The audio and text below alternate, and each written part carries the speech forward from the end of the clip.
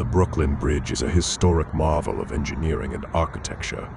It spans the East River and is renowned for its grand towers, intricate cable design, and its role in connecting two boroughs of New York City, Manhattan, and Brooklyn. It's a symbol of the city and a popular landmark for both tourists and locals alike.